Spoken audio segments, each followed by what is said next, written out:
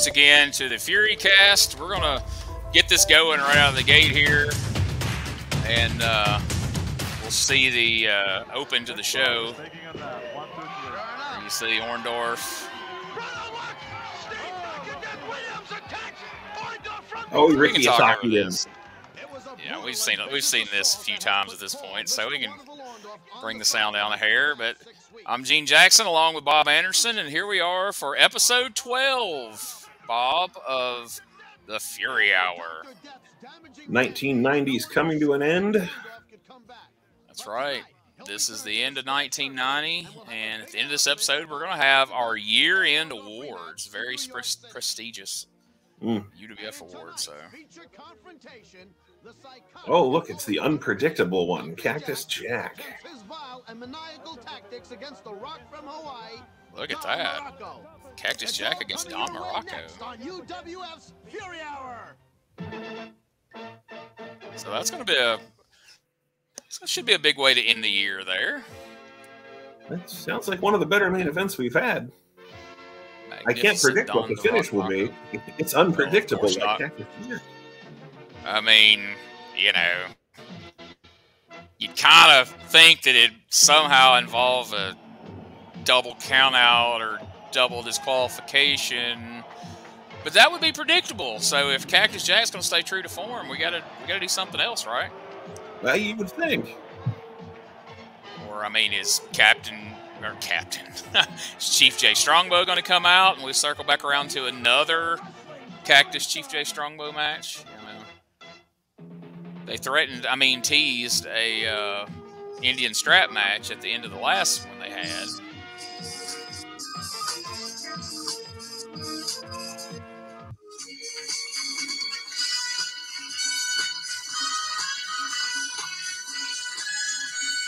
Oh, wrong show, wrong show. Sorry. I knew it felt familiar.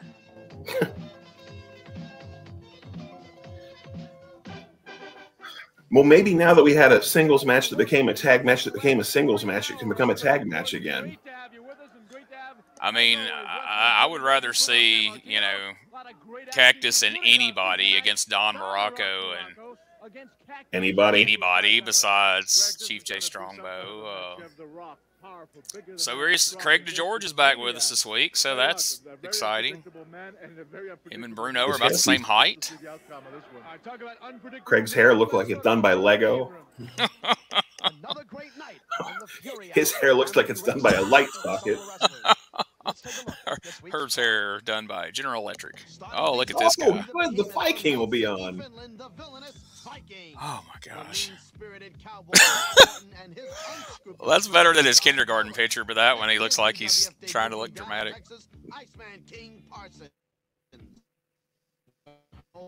Got some sound issues in this one, by the way. Returning from a serious head injury, Uncle Ivan. Paul Orndorff. And in the feature matchup, crazy, unpredictable Cactus Jack tries his trickery against the 278-pound rock from Honolulu, Don Muraco. Captain Lou Albano and another look at his weird world on Captain Lou's corner. We'll answer he's not just unpredictable now, he's well on crazy. Ask the Wrestlers. Crazy. Wonderful we'll Swerve Ask the Wrestlers again this week. Oh, the UWF hotline's up and running. Oh my. City as we get ready for another great night on the Fury I love they picked it. So here's all the people at the concession stand instead of watching the matches. Every pencil neck, every pipsqueak who steps in my way. And there's only one way they're gonna leave the ring is on the stretcher. Hurt. I think UWF should start to sell life insurance too. He's an awesome UWF specimen. Take a life insurance, yes, company here. is good. He is making his way to the entrance. Quite the promo man he's turned into here. I figure they heard the Viking was coming out, so they went to the concession stand. That's what it was. We got the Viking coming up, and Hey, let's get some nachos. nacho sales went through the roof.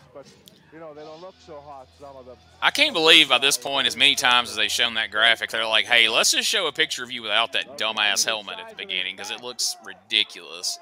But no, we're sticking with it. We're oh my gosh, this guy's gonna get gored in the eyeball. I don't know if Bruce Erickson look like this man. I, don't even know I mean, as much as he sucks, I still don't think I'd want to fuck with him. No, definitely not. Yeah, uh, you know, uh, I would I wouldn't want to fight him any more than I'd want to have to try to work a match with him. Very Right. good shape, The referee's having to push that rope down. Like, Stay up against the guy. hey man, why don't you go through the middle? No, I'm the Viking. Awesome, awesome. Oh. Interesting to see.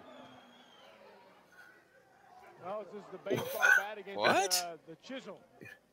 Like, uh, Is this Abe Knuckleball Schwartz or something? Maybe, Greg, if the referee I sure hope so. This is his- that his son. Maybe he'll have a bit of an equalizer there to, to combat this big giant. Wow. A Viking and uh, you might call it the Yankee, I guess. Al Lyon with the pinstripes and the hat. Bruno, I wonder, being a wrestler and wrestling so many years, you ever have a problem? We made the joke before about how this was the uh, Troma version of Thor. Now this is a Troma version of the Warriors on the other side. Exactly. Who knows? Maybe the It's lighting catches him in a- apparently somewhere along the way, Herb's like, you know, this just isn't absurd enough. We need to dial up the absurdity here. Well, the Lion- What is it? What the? Is he starting a lawnmower? That's what I was say. He's cranking a chainsaw with his back to the camera there.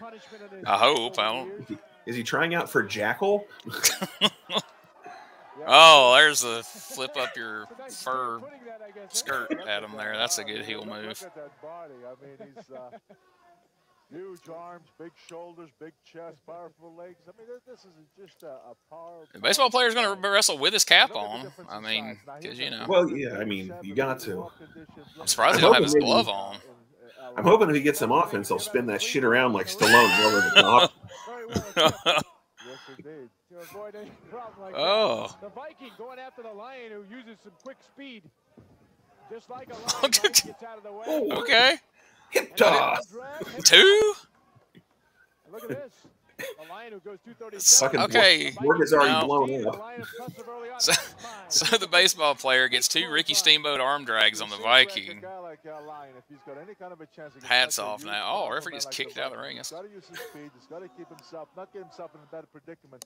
Stay out of trouble. Keep making the men work, and hopefully, in time, maybe that Somewhere a young. Uh, Mike Quackenbush is watching this in 1990 going, I think I can make a promotion out of this here. Baseball players and Vikings and they just need masks on. That's where they're that's where they're missing out. They need some masks.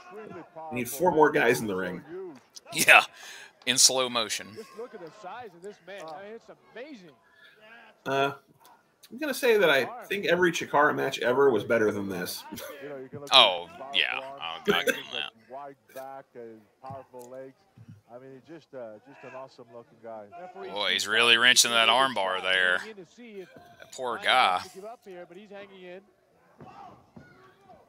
Look out here. I can't really hear the commentary, but I'm gonna. Was- Uh. I didn't expect him to bump off that drop kick. That time, not quite as much punishment. well, he just teabagged Oh. him. He's probably pissed. Bill? Knocks him over. Here, we can ramp up the commentary if you want. Oh, that's. I was just gonna say. I'm sure Bruno's Now creaming himself over the physique of the baseball player. Oh, yeah. What an athlete. Shot the back by the Viking. Yeah, but did you see, Greg, when he throws that big, powerful form, he really puts his weight behind. Look at this. I think he called bear him hug. Greg. Air hug. Let's see if he can Uh, make him what? submit. Looking for the submission. Those arm drags he did earlier, they're good, but not as good as David. You might see also. He had tremendous arm drags. The Lion trying to knock him over, but really not budging. Does he keep calling him the Lion? There it is. I don't know what he. The lineman, maybe? I don't know. Maybe the lineman. That would make a little more That s- was very sense. punishing to the Lion. Although None that's this makes not sense, Gene. It's not a. I mean, yeah. I mean, I don't think a baseball. That's not a baseball's position. That's a like umpire position in baseball. But Yes. here we go. Press him overhead. Watch this. Is that power or what? Is that power Oh, he's what? moving it up there. Looks like Alexia. Oh, don't tell me he's going to throw him outside the ring. No. Oh, he dropped Oh. the top rope. Oh, my. Oh, my. Decapitation action there. Lion hit that top Didn't look bad. That's the nicest thing I've ever said about a Viking match. this is for you. This is for you. What's he going to do? It's a elbow. I will now drop my elbow. It will look decent. Suck it, Greg Valentine. You have nothing on the Viking. I will now pose at the fan who's mad at me. No doubt about it at all. Yeah. Look at you. Look at me. with his big victory. I will do my pose. It is like this. Oh god. Oh shit! Now I'm gonna talk. They gave him the mic. Oh, he gave it away real quick. they turned it off. They're like, no, man. It's all over, size-wise, strength- Oh fuck! What made you come to this is guy? this overgrown smurf? He asking me questions. I beg your pardon.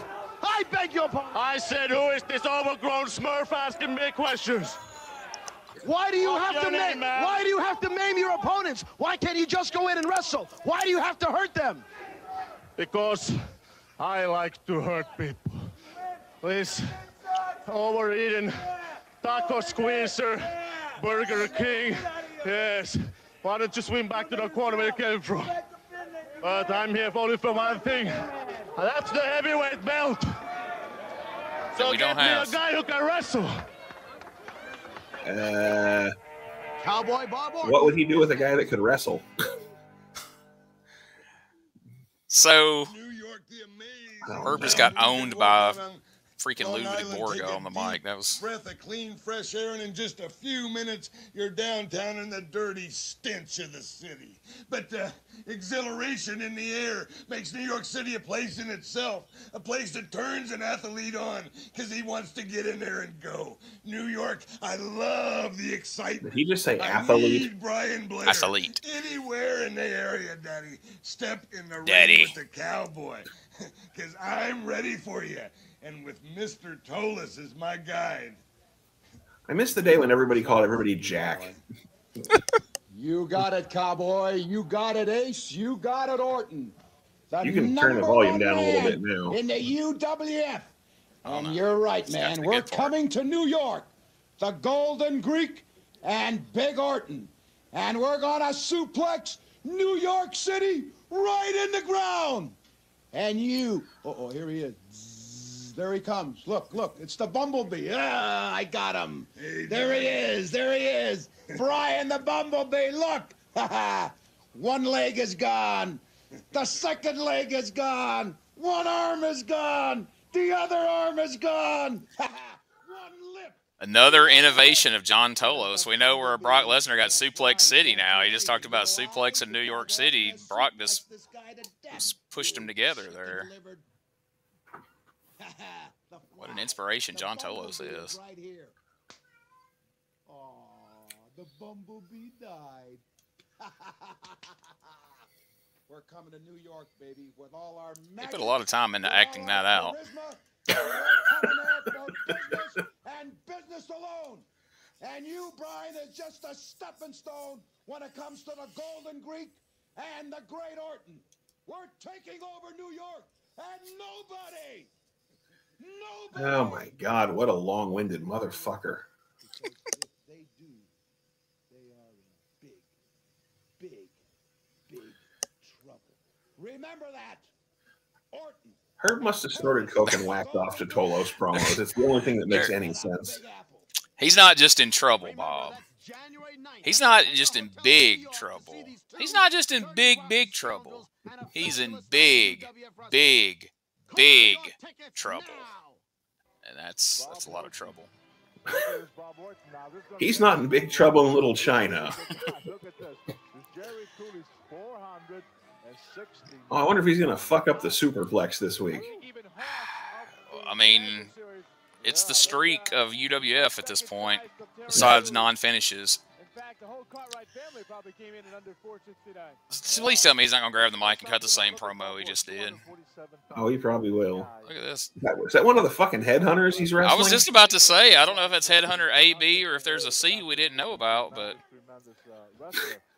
Which hepatitis is it that Orton has?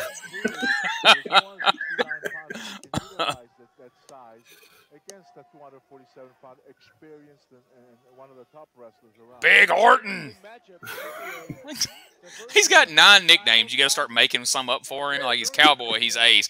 Big Orton. Orton's got one advantage. He's got the Golden Greek outside that ring. He's already got to get some advice from him. Golden Greek, I think.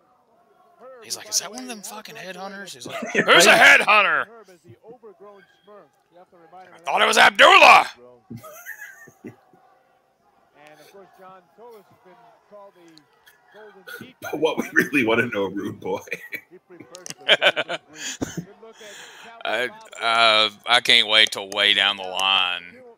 Did you ever see the broke ass bootleg version of Abdullah that worked for UWF at one point? I don't know.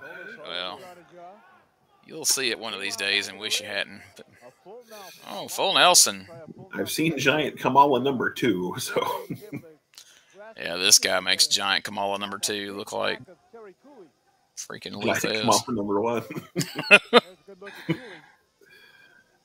Oh, he's getting mad. I don't know. I think I want to see Orton superplex this guy. Yeah, I was gonna say I'm getting a feeling we might not even see a superplex this week. Cause, but if he does, it's gonna be a fucking train wreck without a doubt. Cause That's a big some bitch right there. yeah, he can't just fall off the ropes like he has been with this guy. It'll kill them both. He's Garvin stomping him right now. Okay. Oh, yeah. He's mad. Absolutely. But right now, look at him. The- the like, man I was working the crowd. Don't interrupt me. Like I said, Everybody knows how exciting that is to watch on TV to see some guy jaw with the crowd for half the match. a tremendous, tremendous wrestler. And a vicious one at that. In all seriousness, you know who that guy does kind of look like? He does it like nobody. I mean, there's Mo from Men on a Mission. who can uh, do it like he can. Yeah, he kind of does. I know this is before Mo got in the business, but weight on to Cooley. And now the big knee to Cooley. And even though it, there is sizable padding, I think you'd oh, this dastardly heel manager out there pulling on his chin. He's not choking him. He's pulling on his chin and his nose. This, guy absolutely cannot stay out of it. He has to interfere.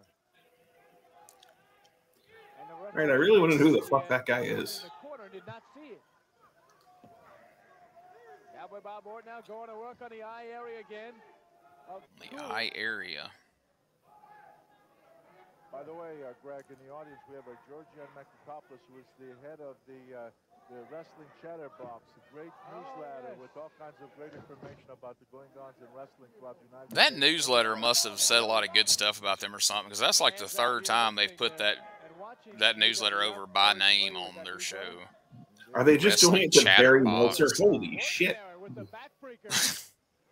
Now that shows uh, the, the power of uh, of a horse. You know, Sorry, I'm trying to Google who this dude is. nine pounds like that, The that's guy he's a lot of wrestling? Yeah, Sorry for Bob Orton's right knee. Terry Cooley.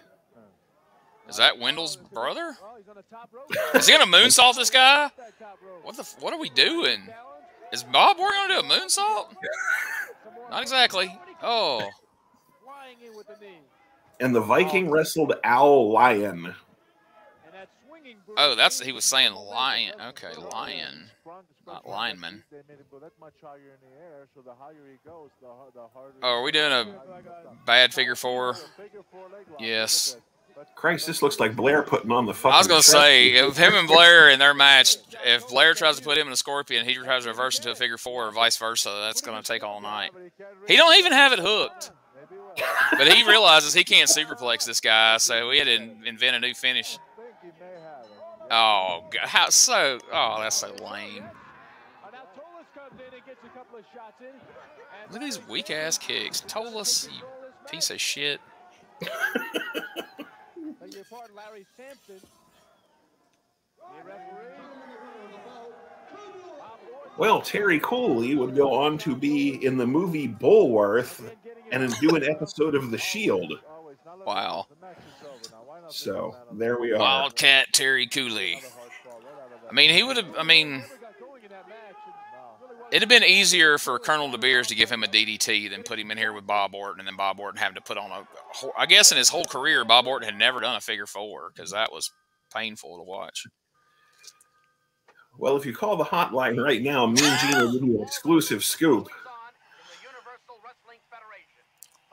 Call the hotline right now to find out the inside story from John oh. Tolos. Where the hell's Dan Spivey been? Call the hotline. We'll tell Colonel you for Beers two is like, call the hotline. I'll tell you what's wrong with this business with all these you know whats. For only two dollars, we'll tell you which referee Colonel De Beers hates. His UWF wrestling debut. But last week he made his first appearance when he went after the notorious Colonel De Beers. What is going on with Iceman's hair here? Like, he used to just have the two strips down the side, but he's got a lot going on now, it looks like. Look at this. Look out. I don't believe it. You know, Sanders, you just wonder why he is still in the ring. Hey, Larry Sampson, I guess. Here's the Iceman. Hey, The Iceman intercepting the Beers. He's trying to hit boom, headbutt. and takes the shot. He was trying to go after Sanders. And the Iceman came to his side and knocks him down. Oh. the Beers is down. The Beers is down. Hey, look at the Iceman go. Let's see. The Iceman. There's the The beer says, let me out of here. I'm leaving. Iceman with his own rump buster. The Iceman's been around, and I'll tell you what, this is this is a, a, a tremendous wrestler. He's certainly made a reputation for himself. not Parsons coming out to Ice Ice Baby. It makes sense, I guess. I just like hearing Bruno try to put Bruno's like he's a tremendous wrestler. He's been around. I don't have a clue who he is. Yeah. Who is this guy? What do I find? I just like how he like seems genuinely amused by some of this stuff on here. He's like chuckling a minute ago during. like the idea that the Iceman was doing a little shake. So now he's wrestling the guy he saved last week. Well, I guess technically he saved the referee. Louis back to being a heel this week. I see. Yes, and that makes that makes me happy. And now hearing it from some fans who are chanting. And you know, at some point they uh, they let it be known that Iceman is Larry Sampson's cousin, because you know why wouldn't he be? Right. And now the headbutt. Because all minorities are related. in Yeah, I mean, it could have just been his homeboy. It's just that's his cousin from St. Louis. Look at this guy. Iceman is got a tremendous catch. oh, this promotion. Yeah, that exactly? Let me make it I don't know what it is. Louis blonde pompadour looking tremendous as always. Yeah, yeah, look at that. Look Like I said, I don't know what's happening with Iceman's hair there. He's got weird lines cut into it here and there. You know, one of those Looks like he's almost got like a diamond in the the day, front. We just had the two strips. And Yeah, then- that's what I'm used to. I'm used to my Iceman Parsons with two strips. I don't know what all this. He's got a big blonde tuft sticking out the back. And Cutie Pie Louis can't even figure out how to pull it. It's in such a weird configuration. All right, that's a pretty good spot. Iceman with a side headlock on Cutie Pie. he's like, "We'll do one spot. I'll put you in a headlock, and you just reach around up there and just be really confused, and then let's move on."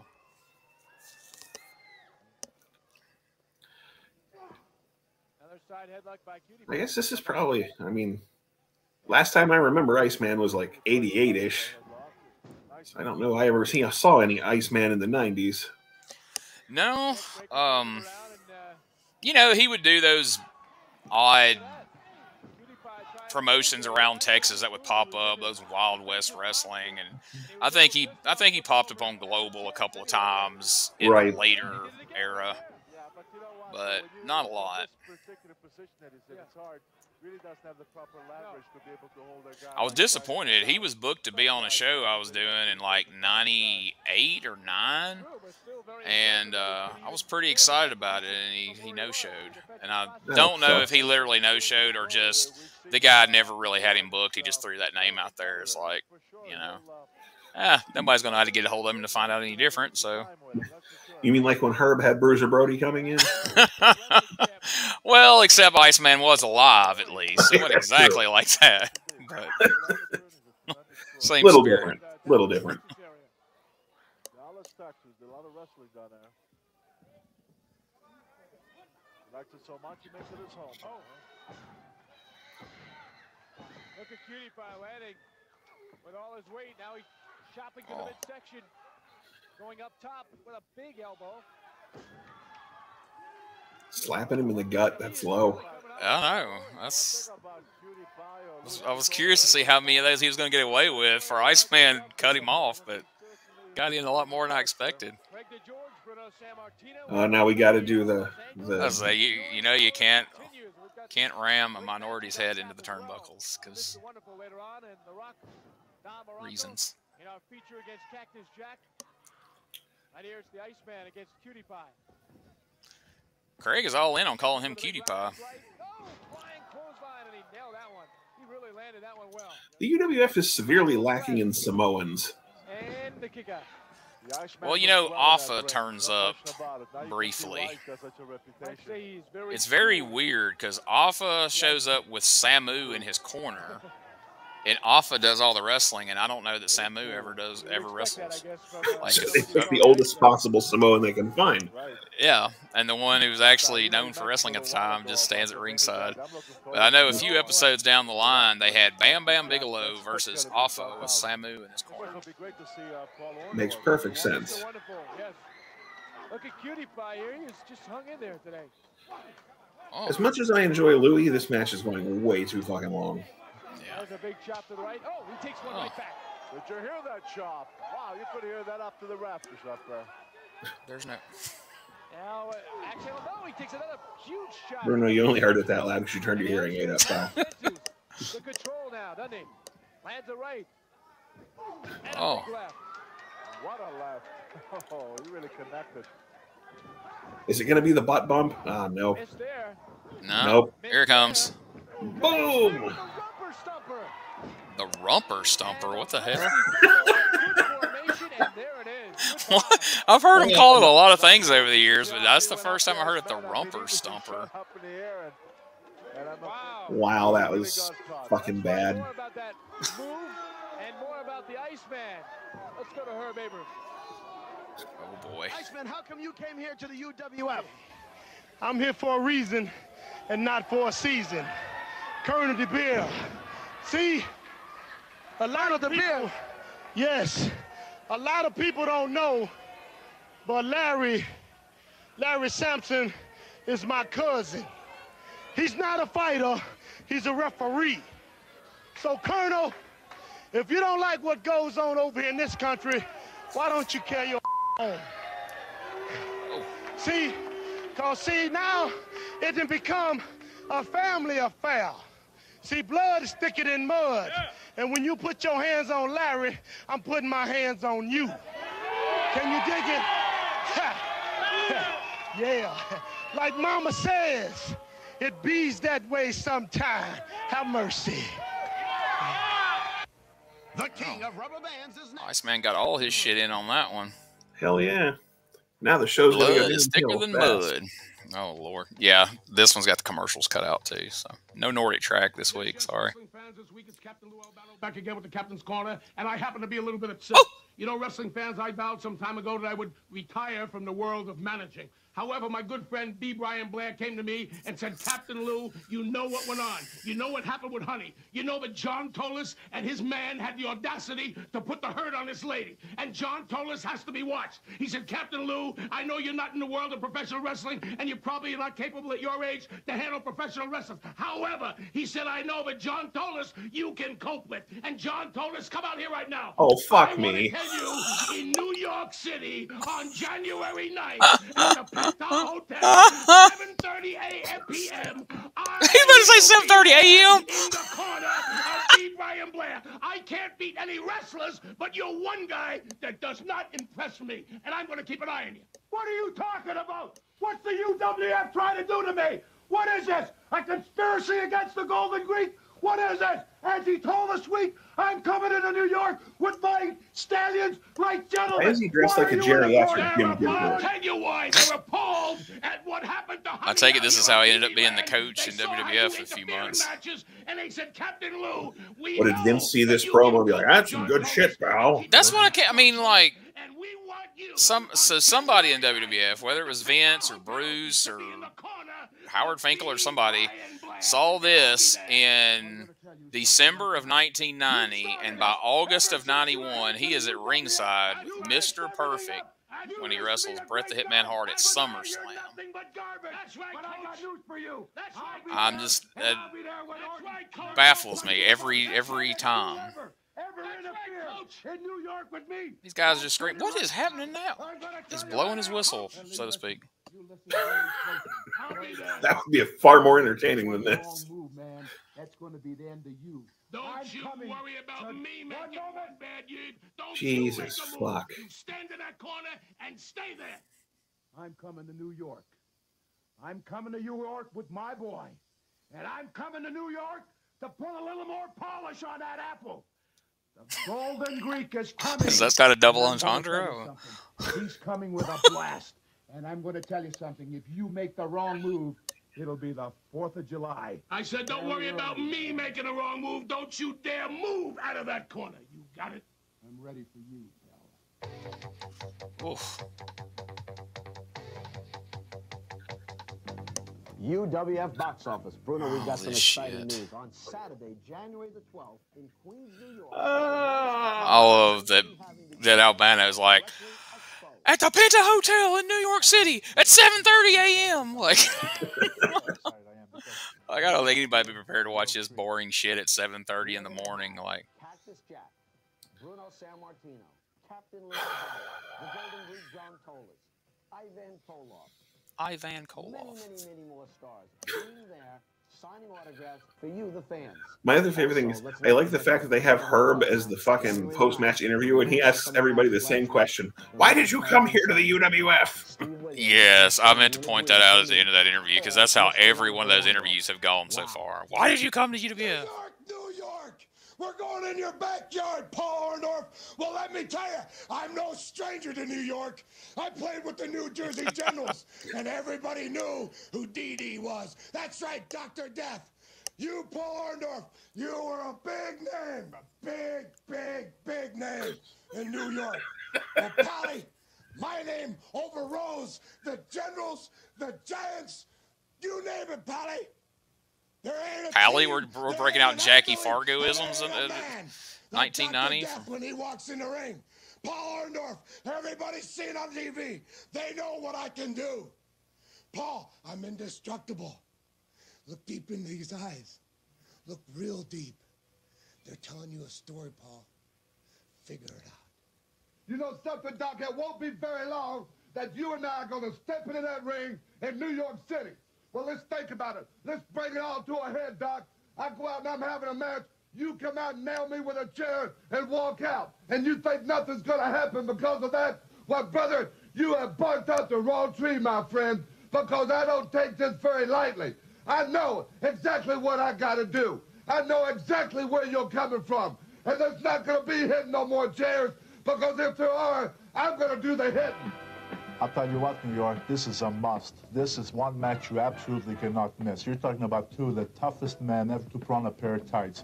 There's a lot of hate between these two, and I think you know what has happened, in fact, between these two. It's hard to sell guys as tough when you mention the fact they put on tights. Like they're the toughest guys to put on tights. Like why don't you just say wear mascara at the same time or something like that? Everything's going to go in this match.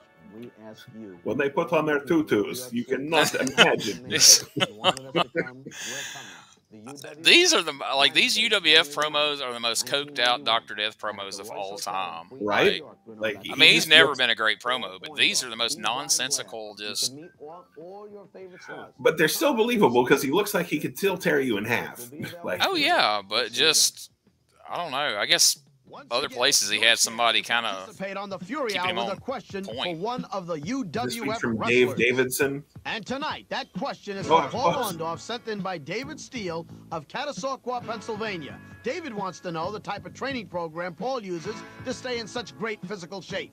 Well, I can tell you the two or three things that I do, and a lot of it's preparation, David. First of all, I don't do drugs. I don't drink alcohol. and I don't You know, lie I either. Right food. You know, I try to stay away from the fattening and that kind of things. And and what that does, it gives you more uh, endurance when you do go to the gym. I try to work on the body parts, the main body parts, such as your chest, uh, your biceps, the big muscle groups. I try to work on them. And what I try not to do is to overdo it. I don't uh, go all the weight that I can use. I try to do uh, three quarters. Always inject it in the left weight that I cheek. You got to rotate uh, back and forth. Sometimes you I try to inject in the left cheek. Sometimes you inject in the left right cheek. in, uh, pretty well physical Say your prayers, I try to take your vitamins. I was really hoping this is the one when I heard it was Paul Orndorff that it was the one where the fan asked, "I heard you died," and he's like, "No, I'm not dead. Don't believe everything you hear, dumb shit." Question on the air. Just send a postcard with your name and address and question to Ask the Wrestlers, 702 Washington Street, Ask the Marina Del Rey, Wrestlers. California, 90292. Don't do drugs. Okay. I don't do any drugs. Yeah, okay, Paul. Wonderful. He's uh, well liked, as you can see, but And it's the 80s. We understand. Well, it was in the early 90s. wrestlers, He Yeah. really has the game face on. He goes right to the ring, doesn't stop for the high five. He'll say hello after the match, no doubt. He'll sign your autograph. But he is very. And there he is, Mr. Wonderful, coming out to You Can't Touch This. That's just hilarious to me. You know, Yeah, I- that's the one that makes the least sense. You're aware of what had happened with him in a match with Dr. Death. Damn! And, I, and look at this. he's taking Davey the Meltzer, the intern, pissed him off this week. Oh, he's wearing a Dr. Death shirt. That's why, I guess. Oh. Jeez, he's beating the brakes off this poor kid. This This might be the most intense beating we've seen on UWF this whole time. And he is just taking care of this guy. He's the intern shirt, lands a big right hand, another big right. I think that every time Orndorff goes in the ring with Do you feel like they were ribbing this kid? Oh, it had to He be. is so angry and so upset Like- as to what happened that Like between the fucking Meltzer name and the the shitty mask gimmicks and then this. Wow, there is a man on a mission right there. You better believe it. You better believe it. You better believe it. Uh, Yes, I'll tell you what happened with him. I don't think I don't think that Paul Orndorff will rest. I don't think that Orn- Orndorff will be satisfied until he gets at Williams. And a patented pile driver. Yes, sir.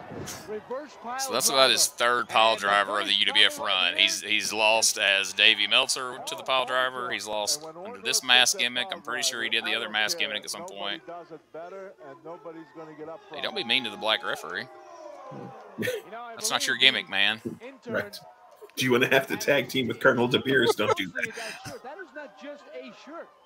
That has a Steve Oh. Williams logo on it, and perhaps Herb. Yeah, maybe you could have pointed that out at the beginning of the match and made some of that make more sense there, Craig. What What are you doing in UWF? Paul, Mr. Wonderful Orndorff, and Paul, you look more vicious than ever. What do you have in your hand here?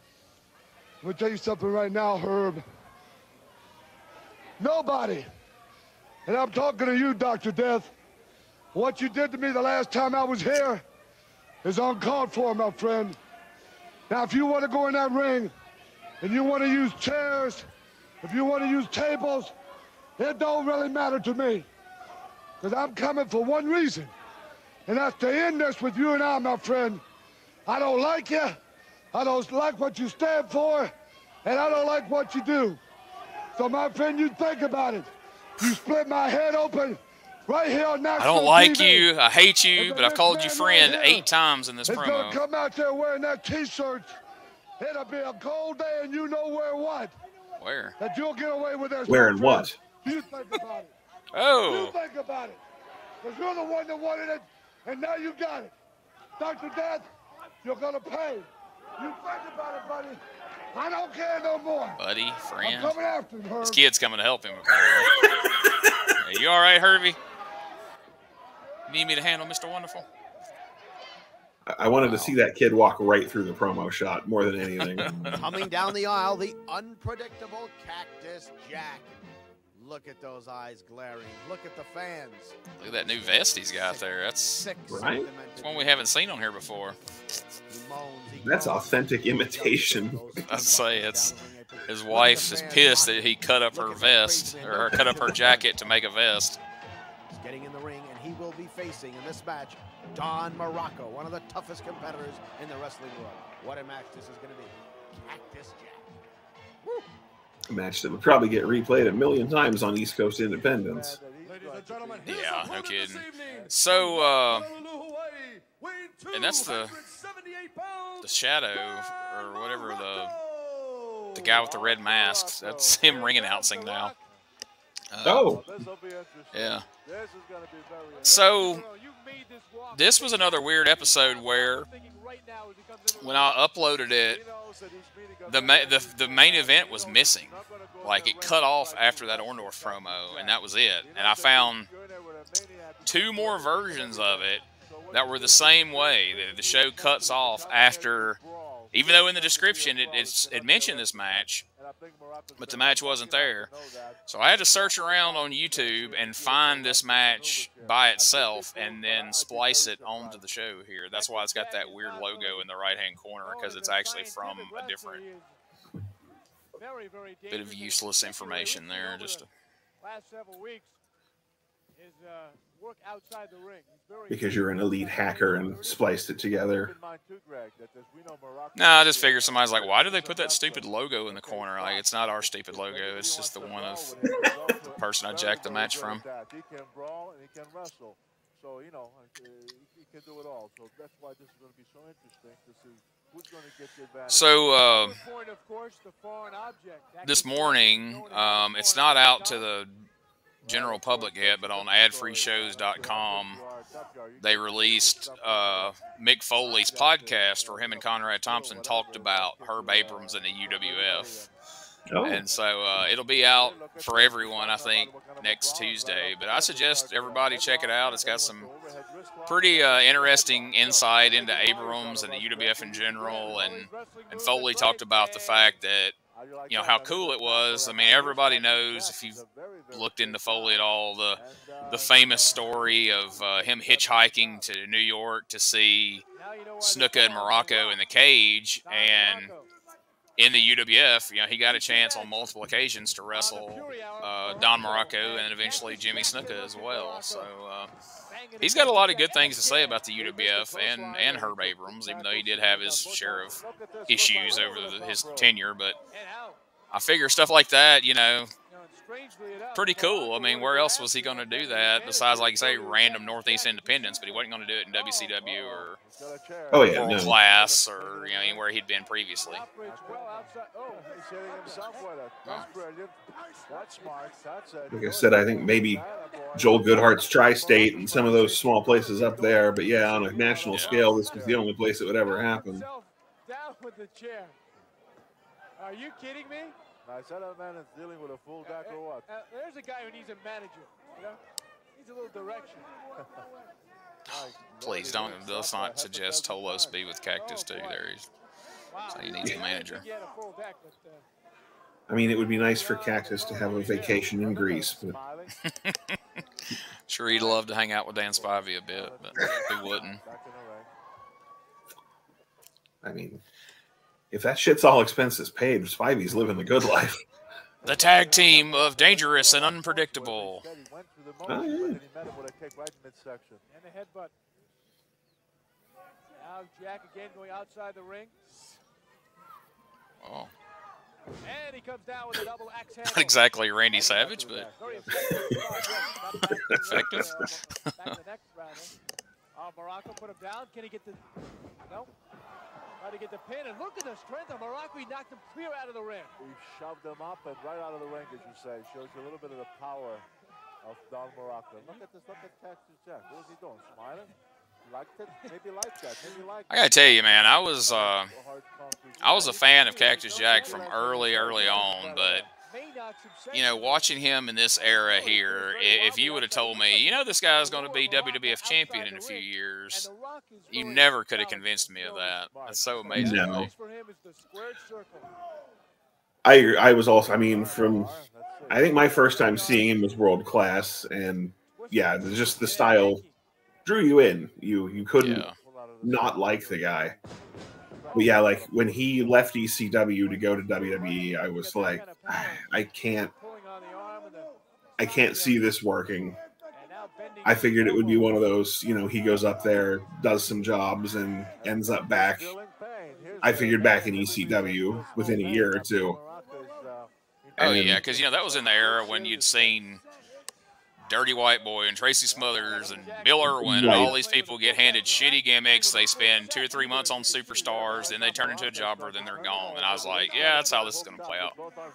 Or even the ECW guys, like Douglas had gone, Public Enemy had gone, uh, you know, and none of those guys had had much luck. And I mean, and not that, I mean, Douglas is a good talent, but like Foley was, I mean, on a different level than most of those guys. But yeah, I just never thought it would work.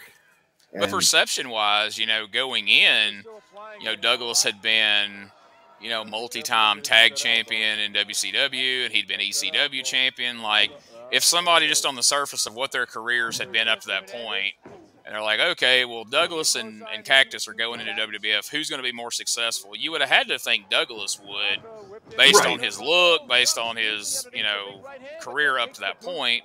But then the minute he shows up as Dean Douglas, you're like, Oh yeah, he's no, fucked.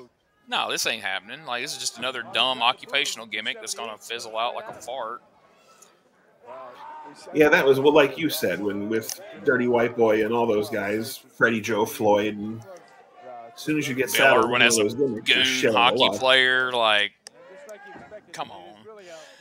But I mean, you know, when when he showed up and immediately attacked the Undertaker, you're like, well, he's going to get a short run as a victim of the Undertaker. He'll get a you know some paydays out of it. He'll at least you know earn the notoriety of having had a feud with the Undertaker. But once the Undertaker's done with him, he'll fall down the card. He'll lose to everybody on the roster. They'll spit him out the other side, and he'll have a decent career on the Indies or back in ECW or whatever, based off his short run in WWF. And Right. who could have who could have been more wrong than that? But At the same time, though, if he doesn't kill himself up there, does that happen? yeah, it's true. I mean, But yeah, to me, uh, he's one of the first guys. You know, you've seen it since with a lot of people, most notably, you know, Daniel Bryan and most recently Sami Zayn, where the crowd latched onto him and I think kind of pushed him over the top. True. You know, and I think he's one of the first real examples of that as you can point to. But like, this is a guy Vince never would have made champion, but Oh, Lord, you know, the crowd made it happen. And uh, I'll never forget when his uh, when his book come out. I couldn't put it down. Like I'm, I'm embarrassed to say this, but like I called out of work and read that book like in the course of like 24 hours. Like it's it's my all-time favorite wrestling book. The first. Oh, one. it's fantastic. You're not wrong. It's uh, yeah, you, you're absolutely right about Vince. He never, he's not the guy that should have made it, and the like, I don't know. The But, charisma I mean, was always it was a there. good timing thing, you know, that things were changing. You know, I mean, you think back to that time, you know, the fact that they showed footage of some of his death matches with Terry Funk on Raw. Right. Brought Terry Funk in and tagged them together and acknowledged his past and all that. Like, you know, if a year or two before, that never would have happened. Oh, he's pulling out. He's bleeding and pulling out the hangman. Nice. Yeah. Kept his ear this time, so that's good. And that's the other thing. You have to figure. I mean, they were doing a lot of, you know, the attitude shit that no one was doing. You know, they'd seen the blood and they'd seen all the suck it nonsense, but nobody was doing that shit. Yeah. Is not a pretty sight there. That's we were talking a little before we went on the air about like FMW and things like that, but nobody was doing, nobody was willing to do the things he was doing or would do.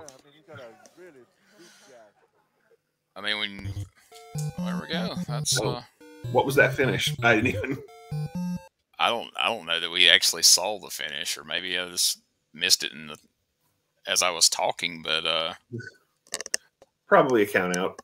yeah, I mean, it wasn't a clean finish, whatever it was, or we would have realized it. So, all right, well, there is the very last match of 1990 for the UWF Fury Hour, and so we got the year-end awards, and uh, producer Smokey has uh, has made some graphics to pull up here. Ooh. Check that out. And uh, so he said that we can just go down the line. He said he put them in uh, what he thought to be the most likely order. So I'll see if you agree. But so the first UWF 1990 year-end award. We won't say who came up with these awards. Some people might be offended by a couple of them. This might be the most offensive one to some people. Best jobber. Hmm. Would you like to go first on this one, or would you like me to go first? Uh, dealer's choice. Doesn't matter to me. Uh, I'm trying to pull up my list where I have them saved in my phone here. Well, I'll go first while you do that. I feel like we should alternate. Uh, I'm going to go with Louis Spicolli. Okay. He uh, Um, he was a later entrant, but he definitely was probably the most entertaining in my eyes. He actually got the New York, New York promo. He had the really good match with Brian Blair.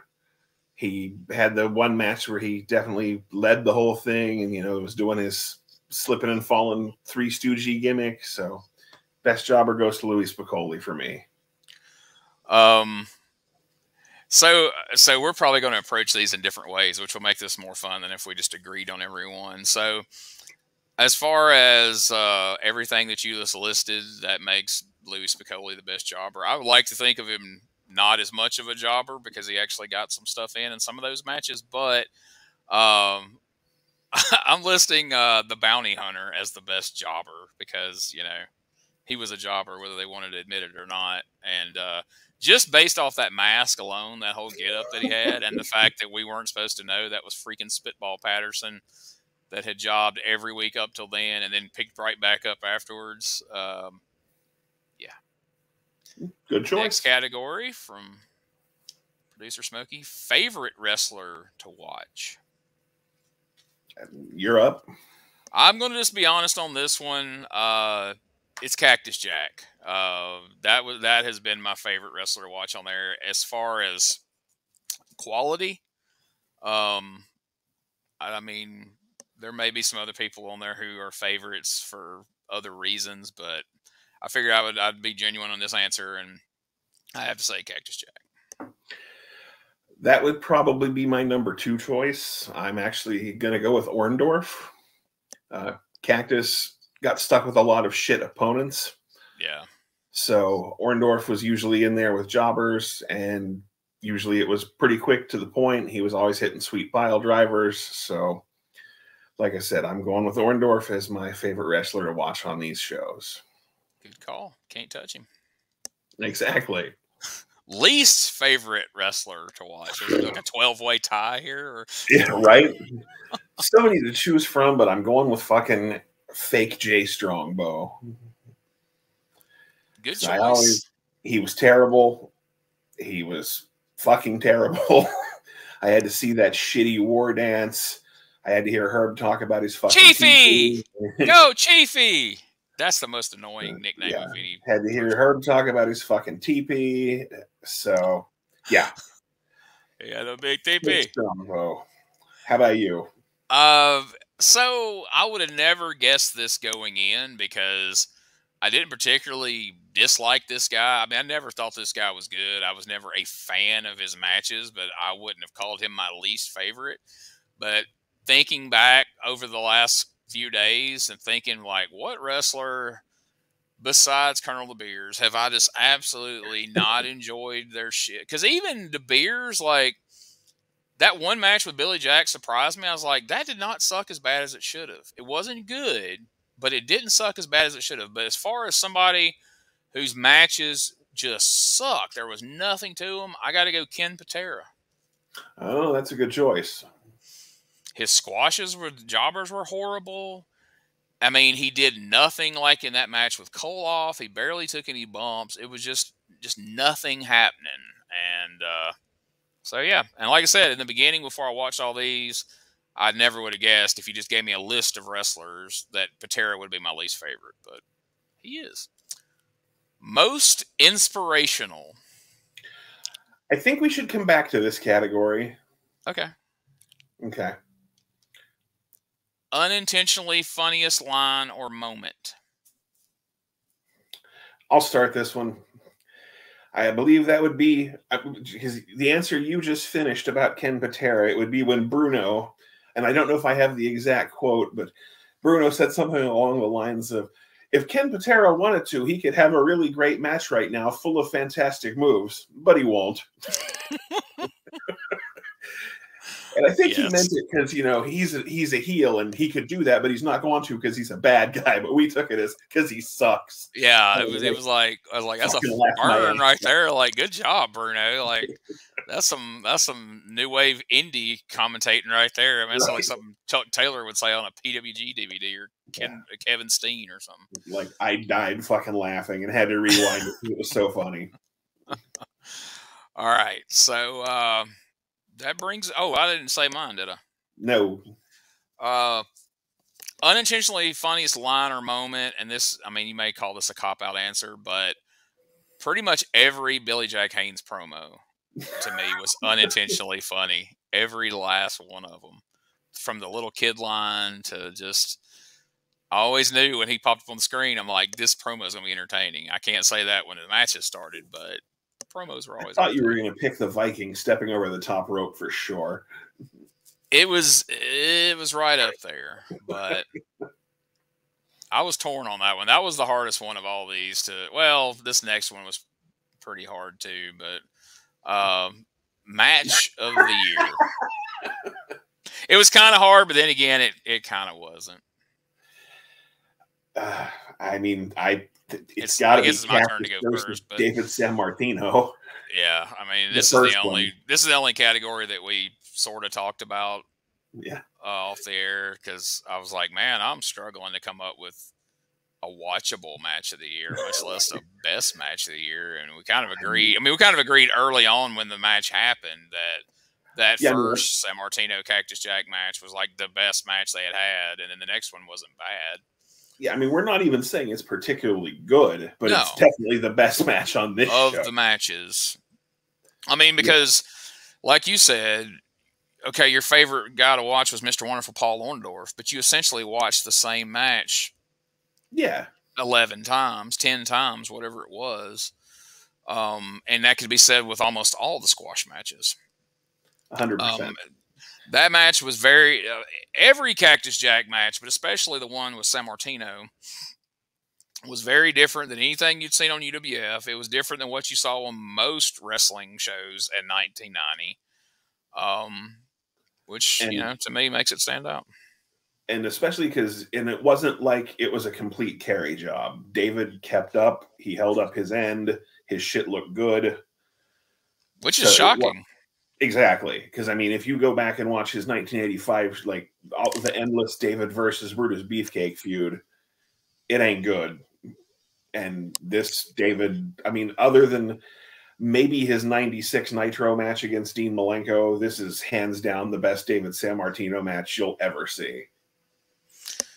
So, And you know, Foley told a story on his podcast that he ran into David Sammartino years and years later at a convention or some sort of thing, and they said that uh, David was very cold towards him and, and acted like he was, you know, had an issue with him to the point that finally Foley just asked him, he's like, "Hey man, we got heat." And he's like, "Yeah, man, I don't like some of the stuff you said about me in your book."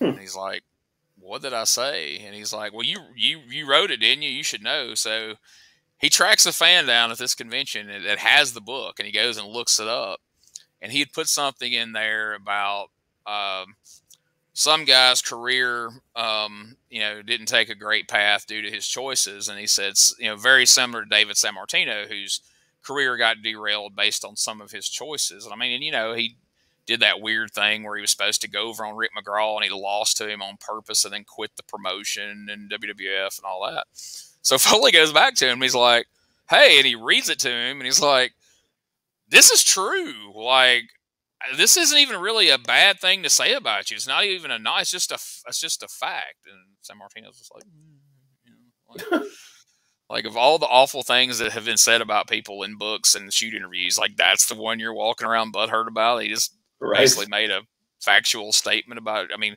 what argument could you make about, you know, oh no, I didn't make any bad choices that ruined my career? I mean, you're Bruno Sammartino's kid. You should have had a cakewalk through wrestling and you managed Right. to screw it up to no end. I mean, All right, so next is favorite Herbie moment. you go first on this one. For me, and this is another one where I had to really mull it over. Uh, there's been some doozies. Uh, but the one that I always go back to and probably laugh the hardest at is the stupid TP story. it's so absurd. It's just, it's so absurd. I'm gonna go with when he completely lost his shit on Ricky Ataki for no fucking reason. like just in the middle of a squash match, he goes ape shit on fucking Ricky Ataki and Japanese people for no fucking reason whatsoever. And then the next week he's like, "Oh, this guy's pretty good." like, somebody somebody reprimanded him. I mean, it's his company. I don't know who it would be. I don't know if it was somebody with sports channel or his partner, you know, the business partner he still had, or what. But you, because you talk about a complete 180. But yeah, I mean, you would think that we were building towards a Ricky Ataki Herb Abrams feud. The way he just went in so hard and so, you know, just like like, damn, this dude has done something to him. Like that was personal. The Right, next week, like, ah, he's not so I mean, bad. Japanese people don't have gyms. Like what the fuck? I mean, it was yeah, like there that was that was some personal shit right there. I don't know what the fuck that was about. All right, so that brings us uh, back around to most inspirational. And I, I I have to think we agree on this.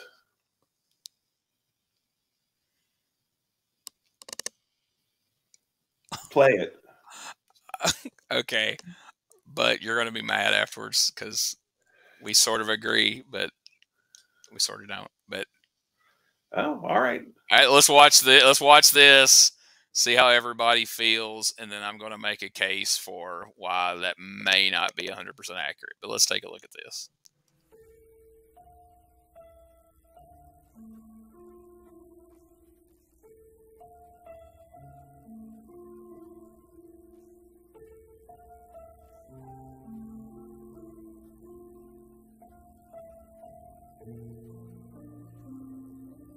I fight for blacks! I fight for Hispanics! I fight for Orientals!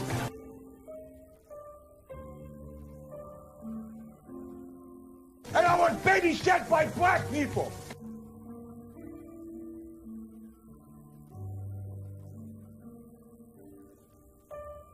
I still love you, little kid.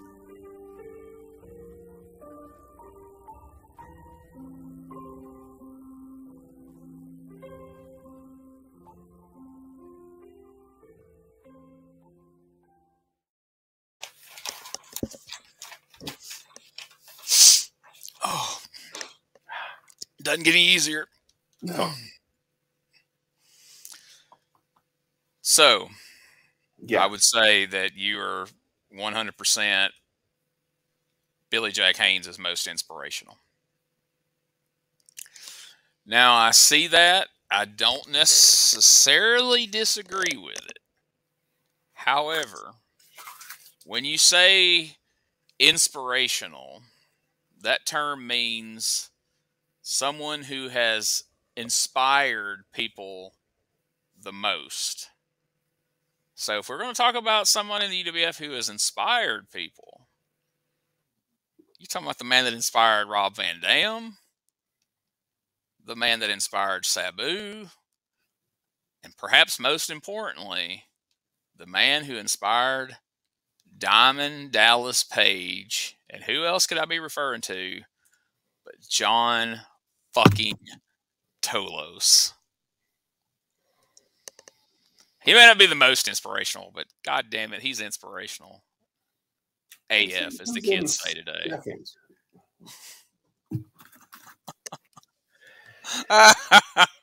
Ah, you're funny, Gene. oh, Let's go ahead and reference Tortured Yes. Ambition, the story of Herb Abrams and the UWF. Jonathan Plumbaum, you can go to Smokey. Where you at, buddy? Get on the ball here. Boom, right there on Amazon. Uh, there's a link if you go to tinyurl.com slash UWF podcast. There is a direct link. You can click on it and take you right to where you can purchase that book.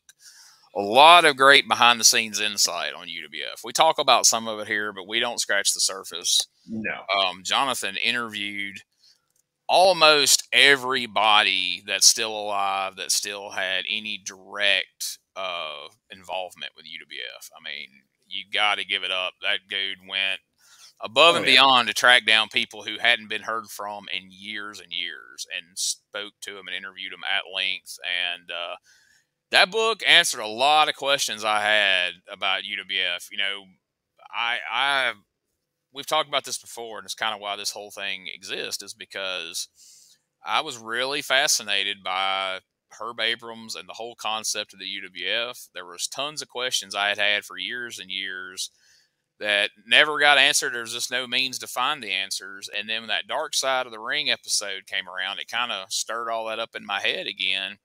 And then I find out that somebody was writing a book about it, and I'm like, oh, I'm getting that book for sure.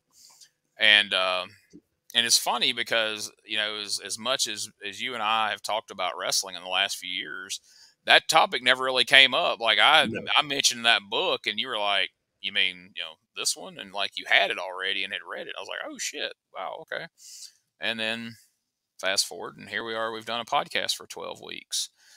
That being said, what is your so we we gave the you know the awards jokingly in some cases um but having watched 12 consecutive weeks of herb abrams uwf fury hour what is your big takeaway thus far So in these episodes, I have played the role of the curmudgeon. For the most part, I will say that it's been less terrible than I've let on, but man, it is repetitive as fuck. I mean, it's the same eight guys over and over and over again. Um, that's my big takeaway. Like, he had a super limited roster and they booked toward nothing. Like the, there was no, like you and I talked about this a lot off camera. Like there, there, there were no house shows. There was no pay per view. There was no end point. Like all the big time matches ended in non finishes, and they booked toward fucking nothing. So it was just the same shit over and over again you know, Orndorff squashes Jobber, Dr. Death squashes Jobber, fucking Orton squashes Jobber, Blair squashes Jobber. And if they put any of those guys together, it was a fucking non finish so they could go back to the same fucking thing. That's my big takeaway. It was a lot of fucking hype building toward fucking nothing. nothing means nothing on this show. So, you know, you you admittedly said that, you know, you've you've played the role of the curmudgeon who's who's not happy about all this, you know, and and so I have played the role of you know being somewhat enthusiastic and and psyched about it, and I kind of was going in, and it didn't take me long to figure out, you know, what you just said, like fuck, this is repetitive as hell, but I could get past. Because if I mean I've gone back and watched a whole year of World Championship Wrestling from 86 and 87. I've watched entire years of Mid South and the original UWF. And even then, you get a lot of the same people in oh, squash yeah. matches week after week. But you got through that, and in the process, you had some really interesting promos, and you usually had some sort of main event or featured match that paid off somewhere. And if nothing else, you saw highlights of where all these angles have been going paid off somewhere else. You know, okay, here's a clip from, you know, wherever. Fucking Omni or Yeah, from the Omni if it's WCW, or from uh, New Orleans, the Superdome if it was, you know, Mid South, whatever. And so it all it was all going somewhere. And so here it's a bunch of nothing that leads to a bunch more nothing. like you're not wrong. uh, if if these, I mean, we talked about this a few different times now. Like say off the show, it's like if if these this angle with Williams and and Orndorff built to something good, you're like, all right, well, I sat through all this crap, but wow, that was a really good match, and I didn't see that ending coming. But not to spoil things, but we're going to spoil some things right now. So, well, let me say this before I spoil it. Okay, so what what we're getting to here is me and Bob. If we're going to continue this podcast, and we want to, because there are people that watch it, we get a lot of great feedback. We've had a lot of suggestions of like, "Hey, when y'all get through UWF, why don't you watch this? Why don't you watch that?" And me and him and uh, conversations be like, "Man, I wish we could do this. We could, wish we could watch that." And especially now that we've we've found this watch along ability. Um, so we're going to take the show and move it away from being a weekly UWF podcast where we watch every episode of UWF in consecutive order. Now, that's not to say that we won't circle back and watch some UWF episodes. We will go back and watch the pay per views. Definitely. But we're going to change the name of the podcast, change the concept of the podcast. We got a couple things in mind that we're pretty well set on, but we're not going to announce them now just to have the freedom to change our mind. Um, where we're going to look at a variety of different old wrestling, some newer wrestling, not new wrestling, but newer than, ni- than 1990 UWF, some older than 1990 UWF. And uh, we're going to watch them along like we've been doing UWF. It'll be up on the screen as long as we can. If it becomes an issue with YouTube, we may have to do like other shows that do watch alongs, you know, like Shivani and different people. You know, they just do the audio. You have to go get the video yourself. And it may come to that. We're going to try, and that's why we're going to limit. There's going to be some things you guys suggest that we're just going to be like, sorry, we can't do that because of those reasons. Or we may have to do those as a special episode where it's like, all right, you want us to do that? Cool, we want to do that, but you're going to have to just link the audio. Like here's an here's an MP3 file. Play it while you watch the uh, video yourself. Um, but here's the reason that I, I want to move away from UWF. Okay, you and I and everybody watching this can can all agree the biggest angle, besides the Colonel DeBeers' racist angle, has been Mr. Wonderful against Dr. Steve Williams. Okay, so they had their first match, double count out. They have a lumberjack match that goes to a non finish, which leads to a steel cage match that ends when Terry fucking Gordy interferes in the match and it's a goddamn DQ. That's our big angle. That's the payoff for our big fucking angle. And that was the only hope of you getting anything out of this that was building to something. And once I went back and watched that again and remember, because I'd forgotten that's how that played out. But I was skimming through some of the UWF video cassettes and I saw that. I'm like, oh, fuck, that's right. You didn't even get to finish in the cage match. Holy shit. like, oh my God. We're uh, like, we can't continue to do this to ourselves. So for the people who are enjoying the week to week UWF, I'm sorry. But for our mental health, for our enjoyment of life, and for this to continue on, we're going to need to watch some stuff that's a little more fun. We're going to need some variety. Biggest thing, I I don't really it, having done this. You could name the best wrestling that I've ever watched. I don't know that I want to sit and watch it and talk about it every week consecutively. I mean, I don't know if you feel the same way, but it's like I said, because uh, back in those days, those squash matches got repetitive and they pushed a lot of the same people. So you were going to see, you know, a lot of the same guys having a lot of the same matches because they had their handful of moves they did and they featured yeah. them in their match. And every Nikita Koloff, and spoiler alert, every Nikita Koloff match was going to end in a Russian sickle. You know, that's just the way it was. And every Orndorff match, you go watch him in Mid South to UWF, I mean, the WWF to down the line, WCW pile driver. It's it's his finisher. That's the way work, wrestling worked back then.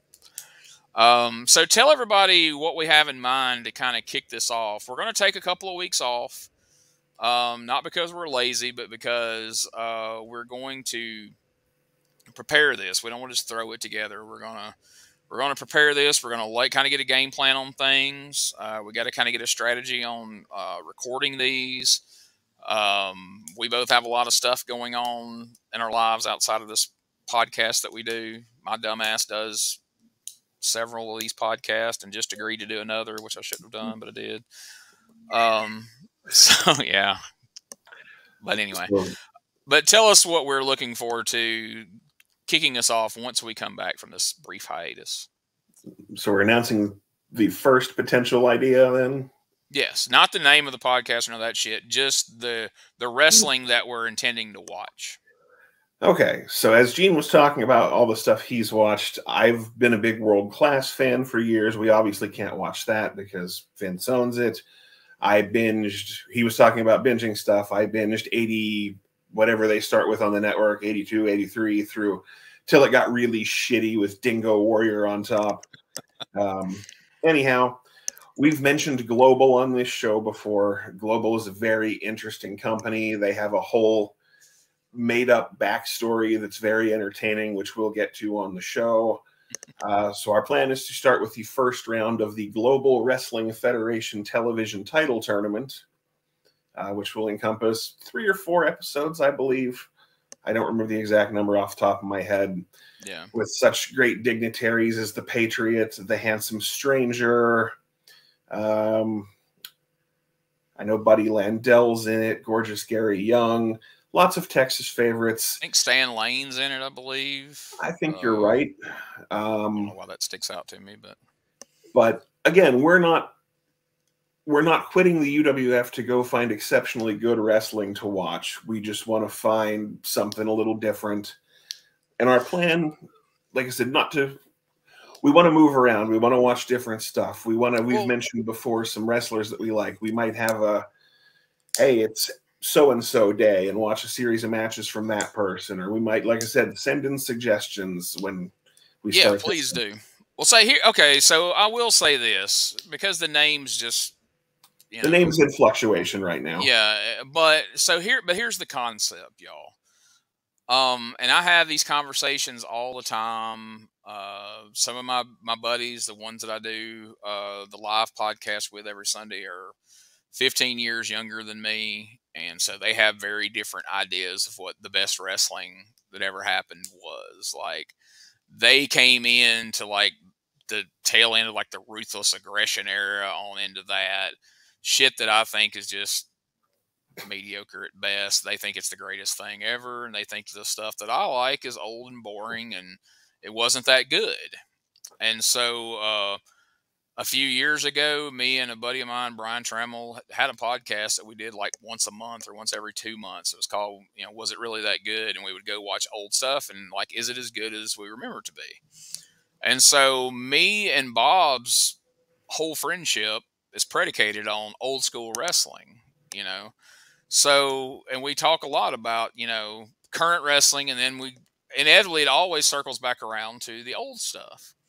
And so then you ask yourself, especially having watched like UWF and some of the random stuff that I watch here and there, is like, well, was it really as good as I remember? You know, is it really that much better than the stuff now? Does it still hold up? Because, like, okay, you said you mentioned Global Wrestling Federation. I'm not going to say I haven't watched any global in the last 20 years, but most of my Global Wrestling Federation watching, I remember coming home from school and turning on ESPN and watching it because it came on every day. That was the crazy mm-hmm. thing about those ESPN shows; they were on every day. How you made that much content to me is I, I would I want to educate myself on global in general. Like you say, the made up backstory, and also, I mean, I don't guess there's a book out there anywhere, but I do want to. In these two weeks that we're taking off working on some things, I am going to do some research on some shoot interviews or just some reading on the real story behind the GWF because I remember coming home from school and watching GWF.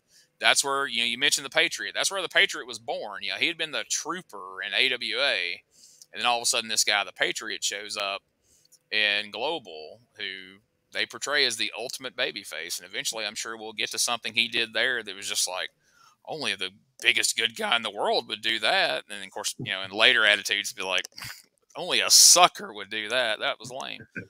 uh, but all these faces I recognize are, know, showing up there over time. These people may not necessarily be in that TV title tournament, but you had Cactus Jack and you had what I recognize to be have been Norman the Lunatic, but now he's Iranian or something. Now he's Singh, Makhan, Makhan Singh and he's dressed like the Iron Sheik. The future Raven will be there. Sweet Stan Lane, yes, Scott Anthony, who uh, I was a big fan of in this era. Uh, I had first seen him in Memphis as Scotty the Body. He turns up here as Scott Anthony, Hot Stuff Eddie Gilbert, who everybody who knows me knows I'm a huge fan of Eddie Gilbert. My boy Hollywood John Tatum will be there. Hollywood Lightning John Kid, who will become X Pac, is there. Has those classic matches with Jerry Lynn in Global that kind of put them both on the map. Really, uh, to this Yep. day, people still recall those matches. So, um, I'm ex- so I'm excited about that. But that's going to be the question we're gonna we're gonna ask ourselves at the end of every every one of these shows: is eh, was it really that good? Is it as good as we remember?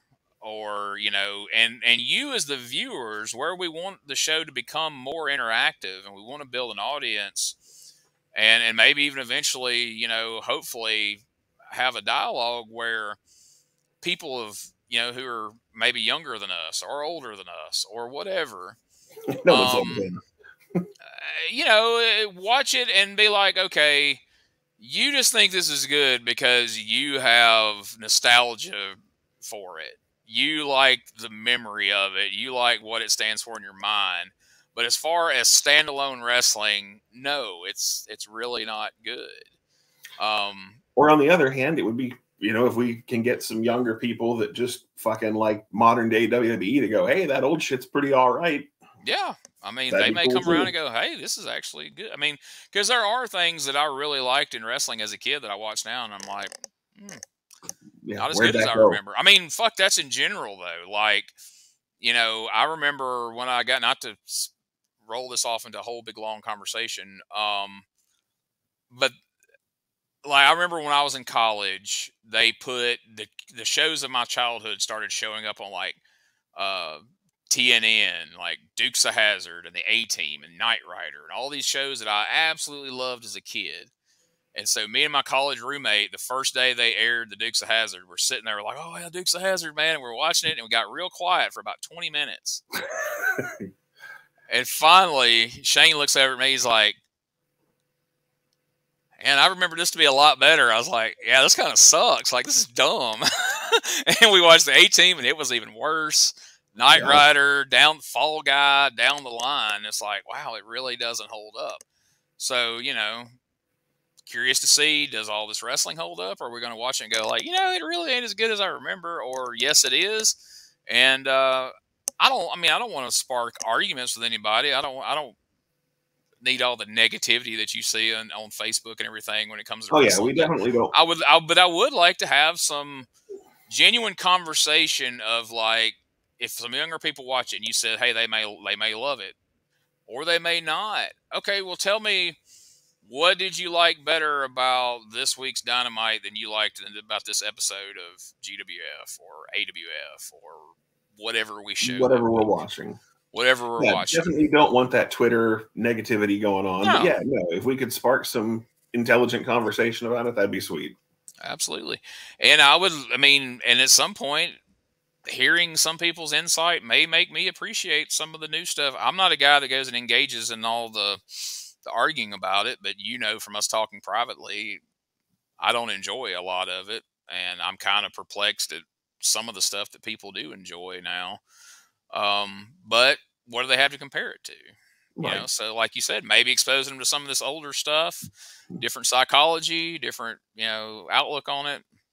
Maybe it'll change their mind. Maybe they'll say these old guys are stupid. I'm not watching this anymore. And hey, Oh, yeah. so be it. In general, we'll probably be looking at stuff from, I would say, 98 ish back. I don't figure we'll come much further. Yeah. I can't see us making it into 2000 really, other than maybe like some some odd indie stuff, Right.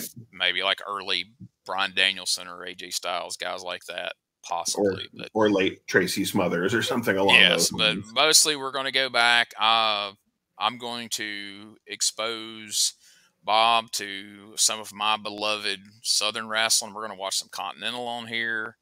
We're going to watch some obscure, like that five star wrestling shit they did down in Louisiana. Not a lot of it, but like an episode here and there. No. And then I want I want Bob to show me some stuff that I haven't seen, and so we'll uh, we'll all uh, watch this stuff together, and we'll decide whether we think it's that good. And there'll be shows where, you know, I may say, "Yeah, I think that was great," and Bob's like, "No, man, that sucked," and vice versa. And then that's where the audience can come in, and then you can uh, settle the dispute and, and vote which way you want it to to go. So I think it's going to be fun. I have I have very high hopes for it. And again, I'm sorry for anybody who's disappointed that. But I, I mean, I said it from the beginning. The very first episode was, "Will they make it through?" Um, you know, we've always had our doubts, even from the first episode, that we would make it through. Because I think collectively there's like 30 something 40 something total episodes full episodes of uwf that are out there. And they get they don't get better as time goes on. They get worse. That's the sad part guys too is like episodes 1 through 12 is probably some of the best stuff there's some middle ground there where it's not too bad but holy shit there's a cliff that it falls off i, I kind of referenced it earlier where they had this fake Abdullah the Butcher guy on there. They had Madman Pondo in like probably one of his first few matches, and They had that Colonel Red guy who's just, oh my god. Uh, Though we do promise we will at least come back and do Blackjack Brawl and Beach Brawl. Oh yeah, we're gonna do Beach Brawl. We're gonna do Blackjack Brawl, and we're gonna do some random episodes of stuff that I just mentioned. One just for a point of reference, and two, we're all gonna watch it. I'm referring to me, Bob, and our whoever watches the show.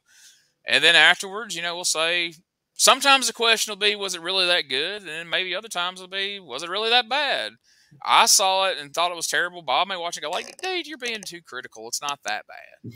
Or he Yeah, may be like, holy shit, I'm glad we didn't stay through to this, you know. I might be like, eh, at least it didn't have fucking John Tolos. So.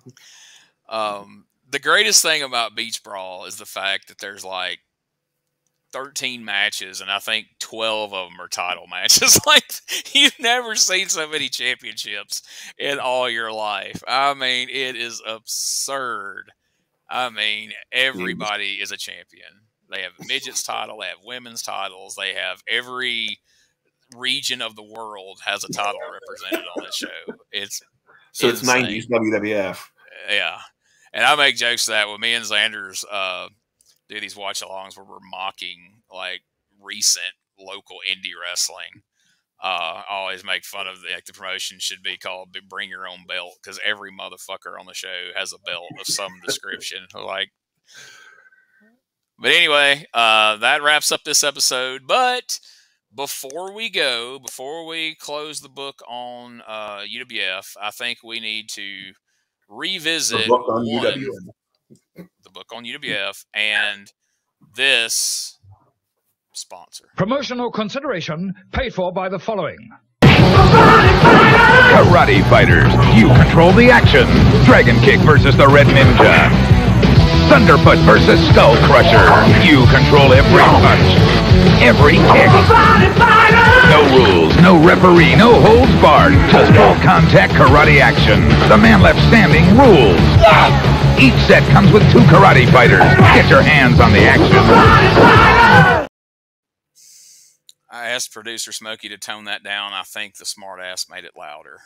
Um, but Before we sign off from UWF for the last time, again, we'll be putting it out on social media. We'll put it in the UWF group. We'll put the new show probably coming up in a couple of weeks, but we'll tease some stuff before then. But uh, I think it's only fitting that we remind you what you've been watching one last time. Hi, I know lots of people have been surprised, but you've been watching UWF. That's true.